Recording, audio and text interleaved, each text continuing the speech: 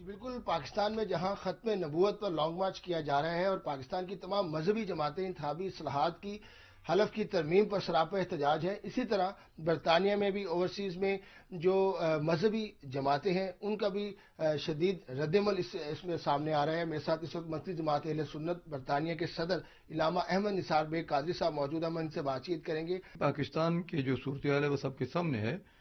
شیخ العزیز، امیر المجاہدین، علامہ خادم حسین رضوی، ان کے زیر تمام لبیک یا رسول اللہ تنظیم ہے جو پورے ملک میں اس وقت اس کی چاک ہے اور وہ ایک لاکھ سے زیادہ کا اجتماع اس وقت فیض آباد میں ہے۔ کئی دنوں سے وہاں پر وہ اس وقت بیٹھے ہوئے دھرنا دیے ہوئے ہیں۔ اس بات پر جو انتخابی اطلاعات کے نام پر انہوں نے ختم نبوت سے متعلق جو موجودہ وزیر قانون زاہد حامد ہے، اس نے شک سیون بی اور سیون سی دونوں نکال دی۔ اور اسی طرح سے جو حلف نامہ میں حلف کی جگہ پر آتا تھا، اس جگہ کو اقرار قرار دے کر اس میں تبدیلی کی ہے۔ یہ ایک بہت یعنی بدینتی کی بات تھی کہ بغیر عوام کو یا یعنی حتیٰ کہ پارلیمنٹ کو بتائے ہوئے انہوں نے کیا۔ ختم نبوت ایک مسئلہ ایسا ہے جس پر انیس سو چوہتر میں بڑی قربانیوں کے بعد پوری قوم متفق ہوئی۔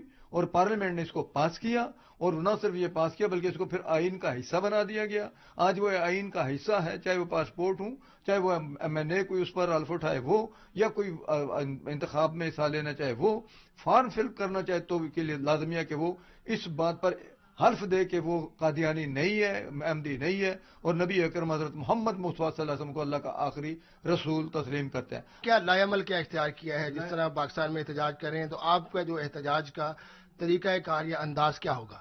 آج اسی طرح سے پچھلے جمعے کو بھی اور بالخصوص اس جمعے کو پورے برطانیہ میں ختم نبوت پر آج سارے کے سارے خطابات ہوئے، جتنے خطبے دیے گئے، ختم نبوت کے موضوع پر دیے گئے۔ اور یہ پاکستان کے جو علماء مشیخ جو احتجاج ہو رہا ہے دھرنا، اس کے ساتھ اظہار یکجہتی کیا گیا ہے۔